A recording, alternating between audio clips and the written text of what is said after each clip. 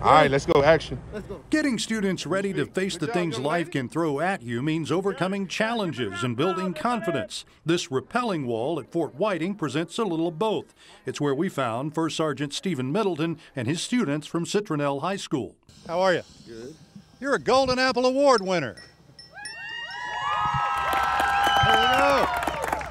As one of two Junior Reserve Officer Training Corps, or JROTC, instructors at Citronelle High, it falls on Sergeant Middleton to make sure his students are prepared to meet challenges. With 19 nominations for the Golden Apple from his students, whatever he's doing must be working. And he's helped me growing up a lot. He's shown me leadership and how to be a great citizen. Middleton is quick to spread the credit for this recognition. You know, JROTC is a two person program, and Master Sergeant Brazier my partner, we work side by side.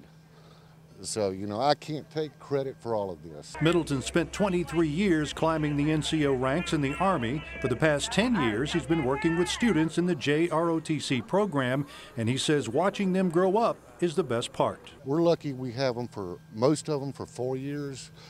We get to watch them come in really as kids and leave as young adults that hopefully will go out and they don't have to join the Army or anything. We don't care. We just want them to go out and be successful in life. Our congratulations to First Sergeant Steven Middleton and Citronelle High for a job well done. Bill Riales, WKRG News 5.